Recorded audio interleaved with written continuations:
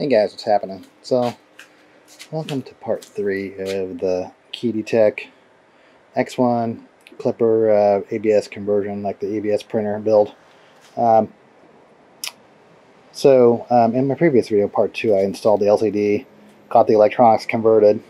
And I guess the first part of the video, I just kind of gave you an introduction to this printer, what I liked about it, and how I think it's going to be a good ABS printer, uh, a fully enclosed ABS printer. Um, so in my last video, I, I, mentioned this. I got this thing for ten dollars, like a crazy good deal. Like normally they're like ninety, but there was like a clearance sale for ten dollars. But it was a whole kit. It had this NEMA 14 motor, the fans, the thermistor, the heater cartridge, everything pretty much. Um, so one of the things I wanted to do was keep as much as the original ABS plastic, injection mold ABS plastic as I could.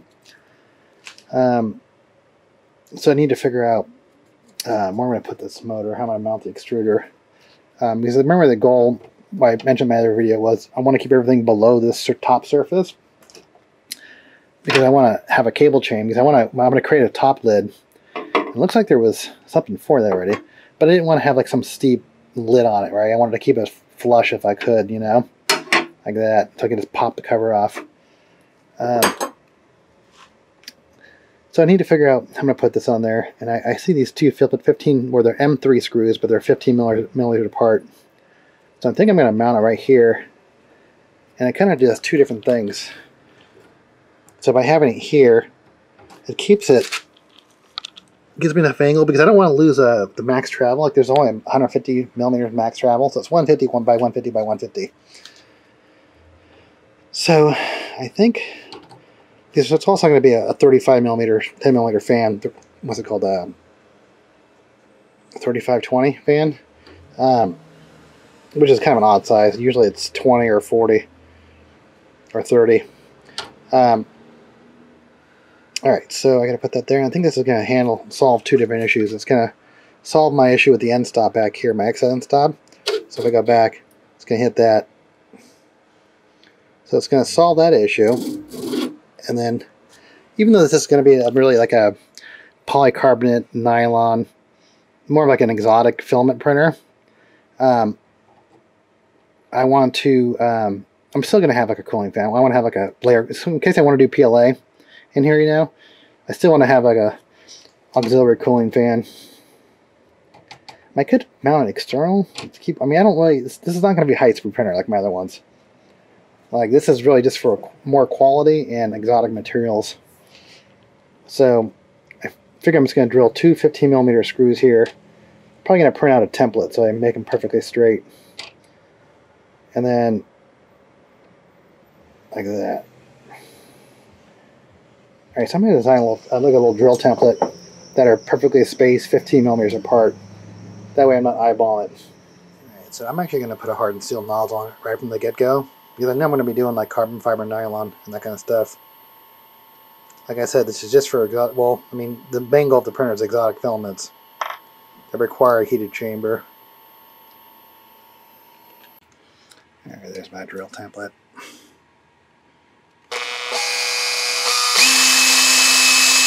Got the H2 on there. Now let's see if the um,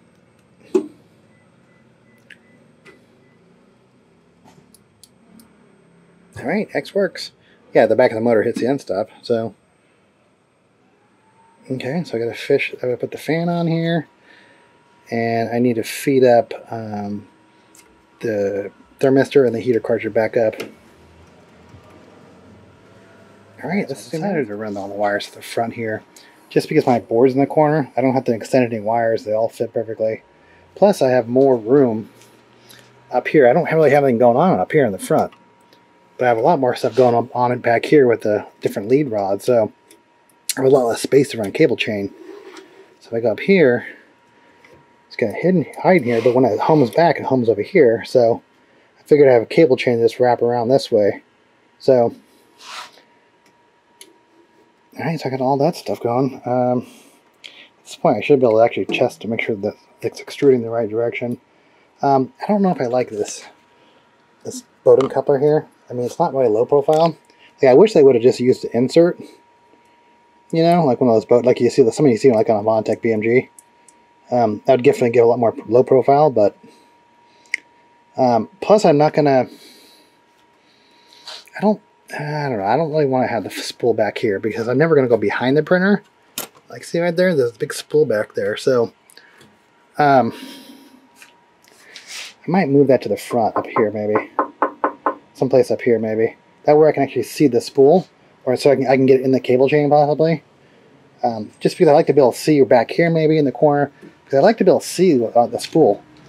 Um, yeah, I don't want to like go behind it see how much spool, like how much film is left in the spool. So, right, to my first extruder yet. And it's coming on. All right, I want to make sure the the motor is going the right direction. And this is actually pinned out correctly. So last time, like the motors, you don't know what the pin out is, so you have to flip, reverse it to get the coils correct. All right, let's do an extrude, and we'll find out right now if it's if you hear a bunch of locking. Uh, okay, that means the coils are pinned correctly. Okay, uh, retract. So I gotta make sure that, I mean, it's just a matter, of the cool thing about Klipper compared to Marlin is I don't have to recompile the whole software, you know.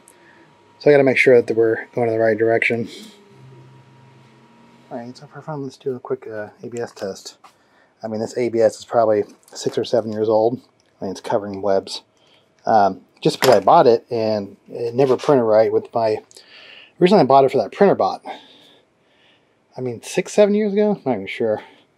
Alright, so it's pretty old filament, but I'm going to blow it off my air compressor and um, do a quick little test uh, ABS. Even though I'm not even close to being done, but it's have a little fun here. Alright, so this whole build stick, this is my, it was heated up 100 degrees, just coming off. It was peeling up. So let's do my first temp, test print, calibration cube. So 100 degrees on the plate, 260 on the thing here. Still got to dial in the configuration, but I should be pretty much dialed in here, I think. I mean, I set the rotational distance on this. I set with a piece of paper with the Jesser screws, so I don't know. I mean, eventually, I'm not going to keep that build plate. I'm going to have a magnetic build plate. That. Hopefully it doesn't ram, like ram into that bed right there. Well, it is an end stop, so there's no probe. Alright, so I had what that's the corner, that's zero zeros over here in this left hand corner. Yeah,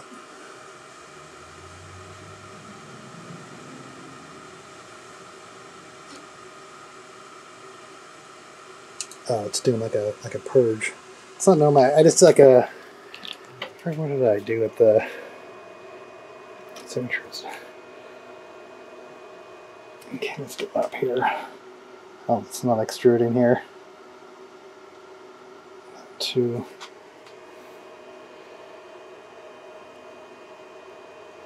Yeah, too way too close to the bed here. Let's do five. Okay, it's going there it goes.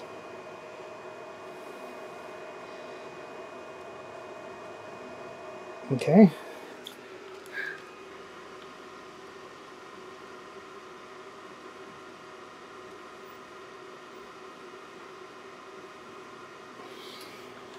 So now let's do a brim.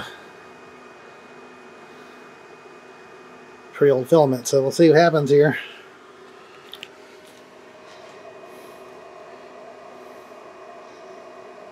sort of annoying because I mean you don't really get a good view of what's what you're printing.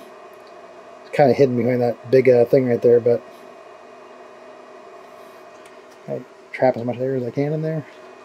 Actually, what I might do to I'm, I'm trying I'm trying to figure out heated chamber type situation. What I might do is just put a fan under the build plate. There's a hole back there. I might, might put a fan down there and just blow air off this hot the bottom of the, the build plate to heat the chamber up.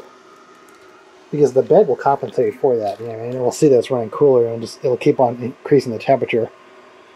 So that might actually I might use that just to, it's a small little chamber, so or even just the heat of the bed itself and the the fan going might get it going. So that's one thing I'm gonna do is I'm gonna put a temp sensor somewhere in either in Klipper or here somewhere.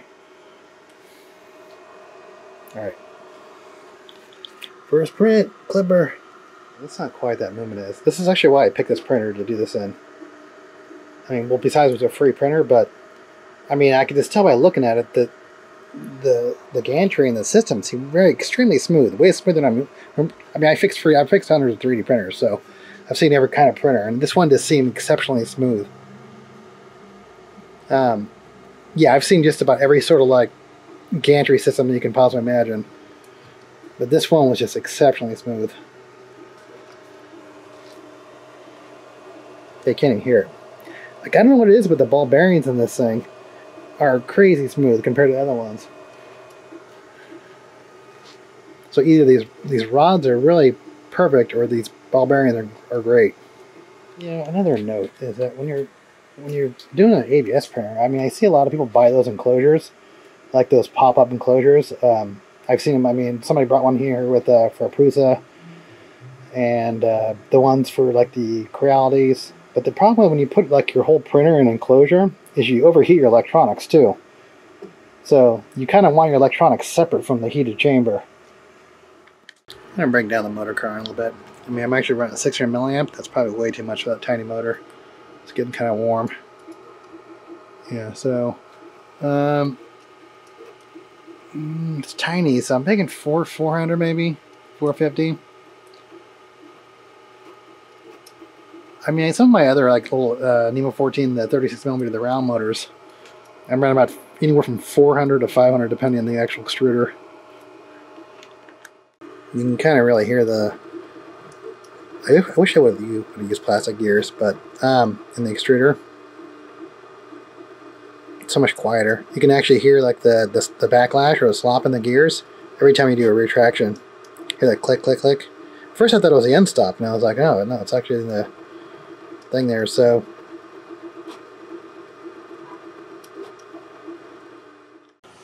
all right, so the sun is coming down, and something almost does not look right with that. That's supposed to be a 20 millimeter cube. Let's see what we got here. Um,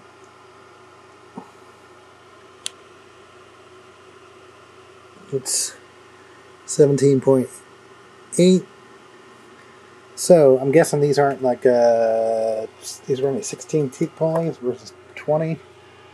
The little plastic pulleys back here. If you can see that, see right there. I'm thinking those are smaller than. Um, so let's see what's Z like. Z seems like it's probably okay. Obviously the quality is horrible, but I I uh, I don't know till it's cool time to get off there.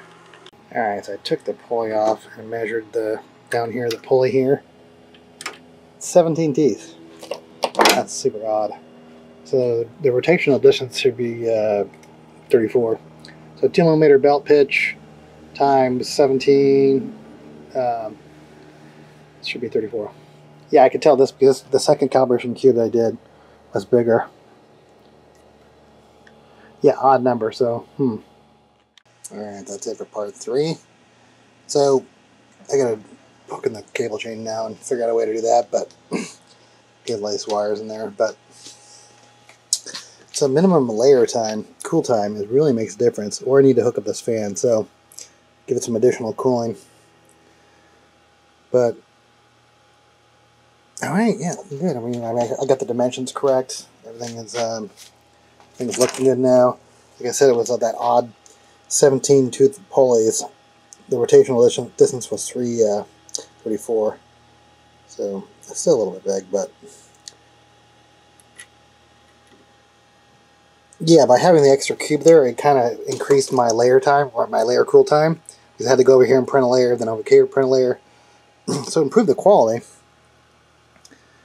Now you can see a big difference between this one and this one. That's just, I think it's just a heat. Like the heat doesn't, doesn't dissipate in this one as much. So this one, one is like a sacrificial